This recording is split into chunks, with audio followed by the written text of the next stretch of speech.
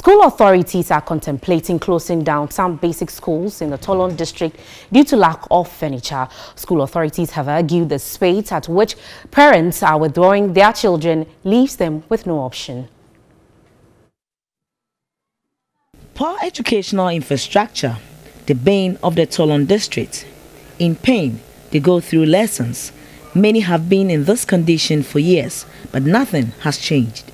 The district has 79 kindergartens and primary schools, 26 junior high schools and 2 senior high schools.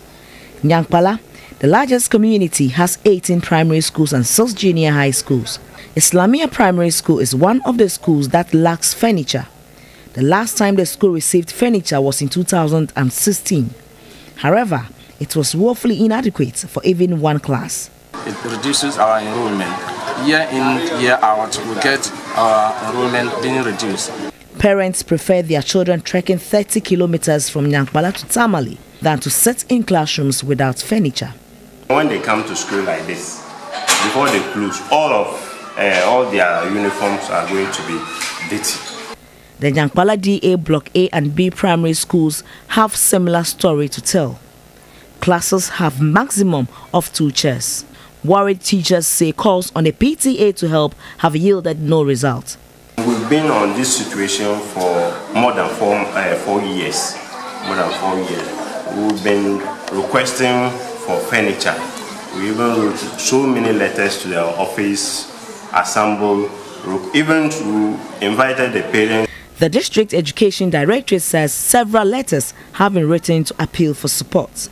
The question of lack of furniture is becoming a very serious threat that is undermining the efforts by government and other stakeholders to provide quality education to uh, the people within Tolon here. The District Assembly admitted the over 6,000 furniture deficit. The Assembly, however, said through the GNPC and the NP, over 2,000 dual decks have been supplied basic schools since 2017. You see children who are eager to learn but they had to lie on their belly.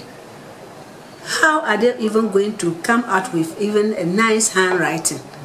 She is optimistic the furniture and infrastructure deficit will drastically reduce before the end of 2020. And that's all for Mission this evening. Mission is supported by Star Ghana Foundation with funding from Danida UK Aid and the EU.